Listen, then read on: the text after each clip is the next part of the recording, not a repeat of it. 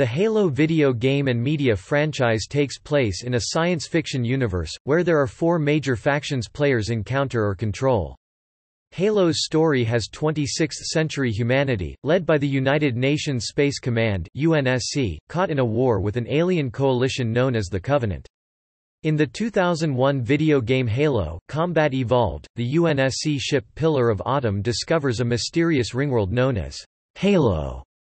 The massive installation was built by an enigmatic race known as the Forerunners, who have long since disappeared. The Covenant worship the Forerunners as gods. During the course of the game, players discover that the Halos were built as a weapon of last resort against the Flood, an extragalactic parasite which is driven to consume all sentient life. The Forerunners were forced to activate the Halo network, killing themselves and any potential Flood hosts, in an effort to starve the Flood to death. The Covenant leadership discovered humans could interact with Forerunner technology, and decide to destroy humanity in order to suppress this fact. The Flood, meanwhile, escape the confines of Halo and threaten to spread across the galaxy again. A large portion of the series' success lies in the creation of a believable world, and Bungie reinforced the fictional factions the player interacts via a lengthy design process with the release of each game. The overall design of each faction was slowly developed before the release of the first game in the series, Halo, Combat Evolved, and continually refined in the later game's development. Reception of Halo's factions has generally been positive. The Covenant were praised by reviewers as exciting and challenging enemies. Characters, weapons, and vehicles of all the factions have been released as toys or promotional materials.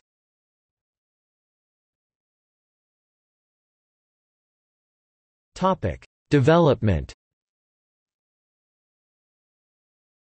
Early in the video game Halo, Combat Evolved's development, Bungie environmental artist Paul Russell solidified the concept of three schools of Halo architecture for the main factions in the game. The humans of the United Nations Space Command UNSC, the Alien Alliance of the Covenant, and the Forerunner structures on which most of the game takes place. For future humanity, the artists and developers settled on a functional, industrial look. Art director Marcus Lehto said that the artists examined current technology trends and tried to extrapolate what future technology would look like. Designs were molded by the desire for building a realized and distinctive feel for the human ships and buildings, but also to make the areas fun to play in. For example, the design team wanted a cramped, claustrophobic feel for the human ship levels in Combat Evolved. Ron Cobb's work on Aliens informed some of the design for a lived-in appearance. In comparison to the visions of dystopia common in many other science fiction works, the cities and buildings of Earth which were first shown in Halo 2 were clean and functional, with parks and attractive structures. Character design for the UNSC was more straightforward, with uniforms based on existing military outfits, ranks, and insignia. All aspects of the game were designed to feel believable and cultivate suspension of disbelief.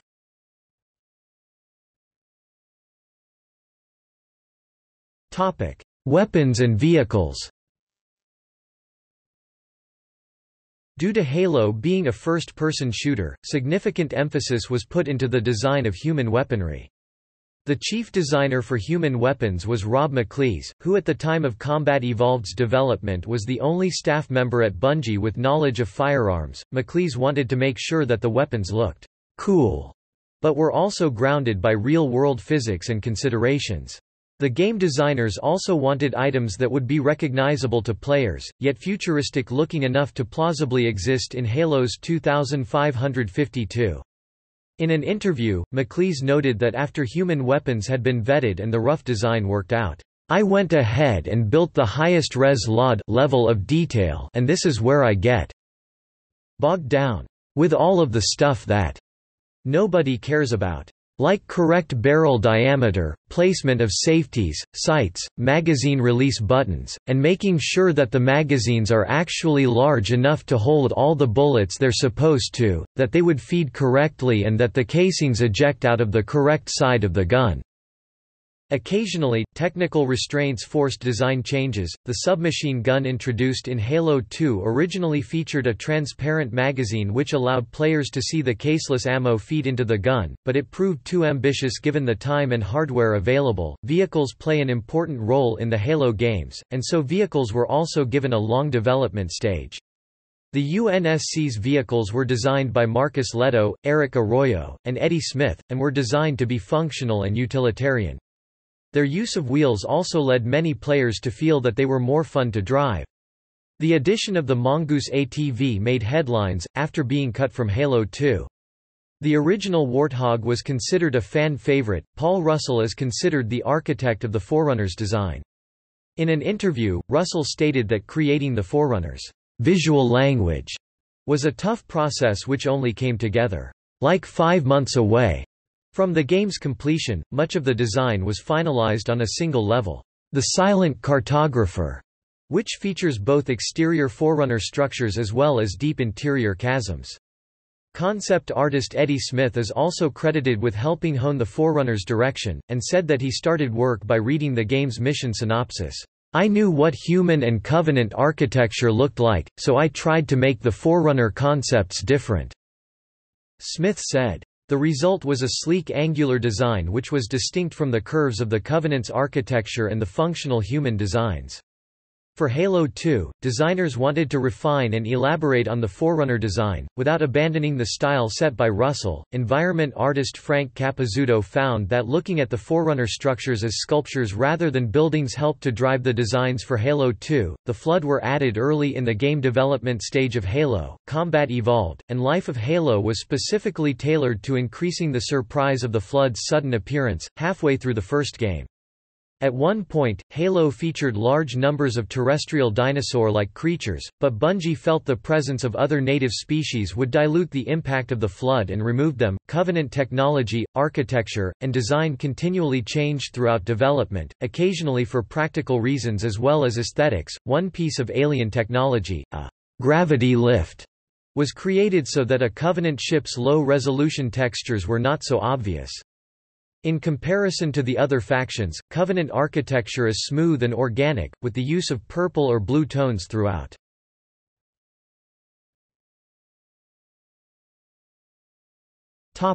Forerunner The Forerunners are a long-lost species which are first cryptically mentioned in Halo, Combat Evolved. Little is revealed about the Forerunners in the games, but some notably, the Librarian consider humanity to be most eligible as reclaimers of the mantle. Humanity is thus the only race which is allowed to retrieve the indexes with which to activate the Halo network. According to the official backstory to the series, the Forerunners came to power after they successfully rebelled against their creators, the Precursors. To ensure that the precursors will never again threaten their existence, the Forerunners exterminated them, except for one imprisoned which they called the Primordial. At the height of their power the Forerunners formed a galaxy-wide empire for more than 100,000 years before the events of the main Halo story arc. The Forerunners successfully usurped the mantle—protection of all life in the galaxy—from the Precursors. Much later, they were threatened by the parasitic flood. The Forerunners took action, but the parasite was unstoppable. A group of Forerunners conceived a plan to stop the flood once and for all, building an installation known as the Ark that created seven ring-shaped megastructures called halos.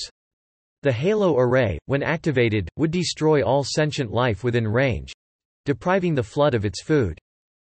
After waiting as long as they could, and traveling the galaxy to collect species from planets, which would later be used to reseed the galaxy, the Forerunners activated the array and vanished. Although the parasite's spread across the galaxy was halted, the Forerunners paid a terrible price as they, and all sentient life capable of sustaining the flood in the galaxy, were annihilated. The Covenant worship the Forerunners as deities and relentlessly search for Forerunner relics.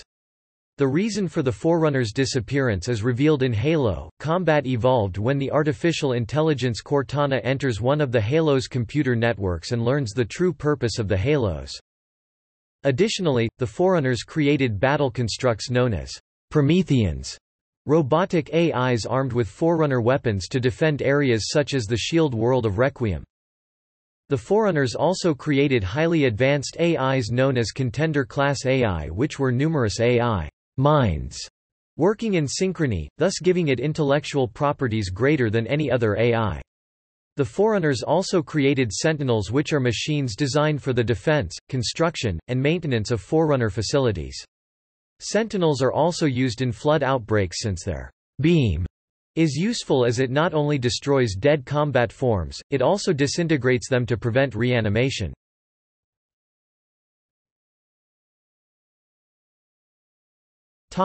Flood The flood originally called the shaping sickness is a parasite which is driven by a desire to infect, kill, or consume all sentient life it encounters. The Flood first appears in Halo, Combat Evolved, when the Covenant release some captured specimens from stasis on Installation 04, the parasite spreads and threatens to escape the ring, until the Master Chief destabilizes the installation with a massive explosion coming from the Pillar of Autumn. It is also later found in Halo 2 on Installation 05 along with the Gravemind, an enormous tentacled creature that acts as the parasite's central intelligence. In Halo 3, the Flood reaches the Halo Ark using the giant Covenant ship High Charity. Master Chief then defeats the Flood once again by exploding the replacement for Installation 04, which damages but does not destroy the Ark. The most recent appearance of the Flood is from Halo Wars 2 through the Awakening the Nightmare DLC, in which the Banished refer to below battles Flood survivors from the Battle of Installation 00.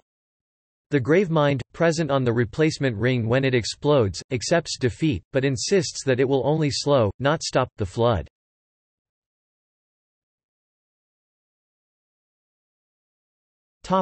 Covenant The Covenant is a theocratic collection of alien races. In many Halo video games, they fill an antagonistic role. The Alliance worships an ancient alien race known as the Forerunners and search for their god's relics. The novel Halo, Contact Harvest reveals that the Covenant's luminaries, devices which search for Forerunner relics, discovered a massive cache of the relics on a human colony, Harvest. The Forerunner artificial intelligence mendicant Bias awakens and reveals to three Covenant politicians that the relics are in fact the humans themselves, Bias identifies them as descendants of his makers. Worried that the discovery of such a secret would destroy the Covenant, the leadership instead directs the Covenant to destroy humanity as an affront to the gods. This leads to the search for Halo, an ancient weapon designed by the Forerunners to attempt to contain the Flood. In Halo 2, the Covenant splits apart in civil war when the elites learn of their leader's treachery. The elites eventually ally with humanity to stop the rest of the Covenant from activating the Halos in an attempt to follow the Forerunners into godhood.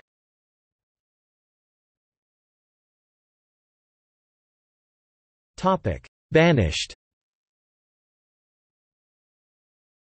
The Banished is a splinter faction of the Covenant, founded and formed by Atriox, first debuted in Halo Wars 2. After the events of Halo 5, Guardians, they invade and took over Installation 00 the Ark until the long-lost UNSC Spirit of Fire arrived after 28 years from slumber of drifting following the events of Halo Wars. Captain James Cutter and his army battle the Banished to take control of the Ark.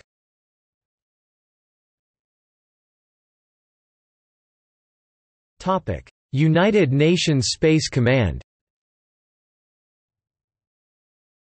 The United Nations Space Command UNSC is the main faction of Future Humanity.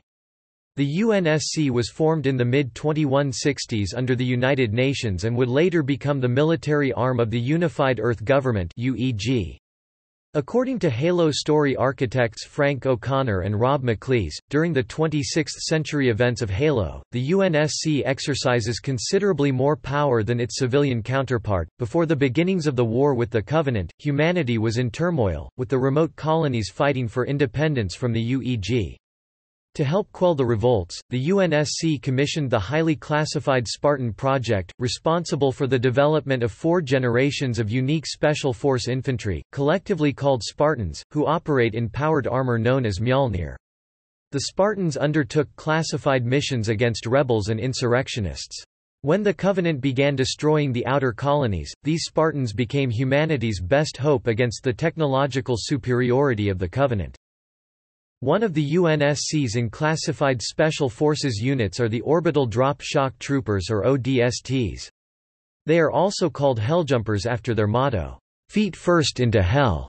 They specialize in orbital combat insertions via single-occupant exoatmospheric insertion vehicles SOEIVs jettisoned from ships in low orbit. The 105th Marine Expeditionary Unit are labeled as the Helljumpers. As characterized by author William C. Dietz in Halo, The Flood, the Future Corps shares thematic similarities to the present-day United States Marines. The most important special force unit in the game is the Spartan Project, more importantly, the second generation of Spartans within the project, a group of specially trained supersoldiers. The main playable character in the main trilogy, John 117, is one of the few known surviving Spartan IIs. The UNSC also has an army, which serves as a ground defensive force within the UNSC military along with the UNSC Air Force. The UNSC Navy and Marine Corps are mainly responsible for space combat. The UNSC also field various ground vehicles for combat, among these is a general purpose scout Jeep dubbed the Warthog, or simply the Hog, a real working replica of which was created by special effects company Weta Workshop for a series of shorts by director Neil Blomkamp. This vehicle had fully functioning four-wheel steering, machine gun, digital displays, and airbags. The initialization UNSC has occasionally been confused with the United Nations Security Council. For example, on May 24, 2012, a BBC News report on the UN used the Halo UNSC logo, as opposed to the United Nations Security Council logo, as a background image.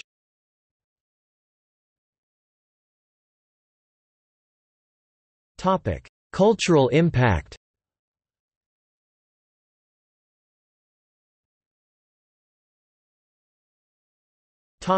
Merchandise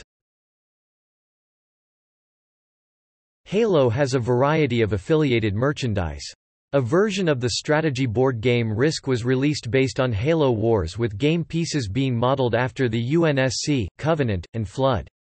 A mix of human and Covenant vehicles and weapons were also featured in the Halo ActionClix tabletop game and a series by McFarlane Toys. Game journalists have even noted the similarities between the Warthog and the Hummer HX, which GM denies. The merchandise includes several series of action figures. The first series of figures were created by Joyride Studios, and featured characters, weapons, and vehicles representing all of Halo's factions. The task of creating Halo 3's action figures fell to McFarlane Toys. In an interview with Bungie, Todd McFarlane stated that the challenge of creating figures for a franchise was that designers had to accommodate and integrate both articulation and attention to detail without compromising one or the other too heavily. A total of three series of figurines have since been produced, featuring UNSC, Flood, and Covenant forces. Manufacturer Kotobukiya also produced high-end statues for Halo 3's debut. Other merchandise based on the weapons of the Halo universe include die-cast weapons replicas and a set of Covenant weapons used for laser tag.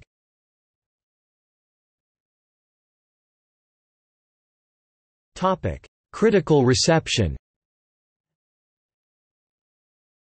Halo's universe and the factions in it have been well received, both from a storytelling point of view and from gameplay.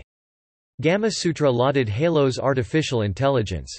For example, Covenant or Flood forces never spawn in the same places when the player restarts from checkpoints, which gives the player the sense that the alien creatures have things to do besides killing humans. Bungie's goal of making characters behave realistically in the games has led to the behavior of the Covenant, Flood, and Forerunner units being praised in each game of the series. A point of criticism has been the AI of allied UNSC characters. Reviewers noted that in Halo 3, they were often more of a hindrance than help. The various factions that make up the Halo universe were each received differently. The Flood have been alternatively praised as terrifying foes, and lambasted as annoying zombie-like enemies. The literary adaptations of The Flood, particularly their representation in the Halo graphic novel, have been best received. Notes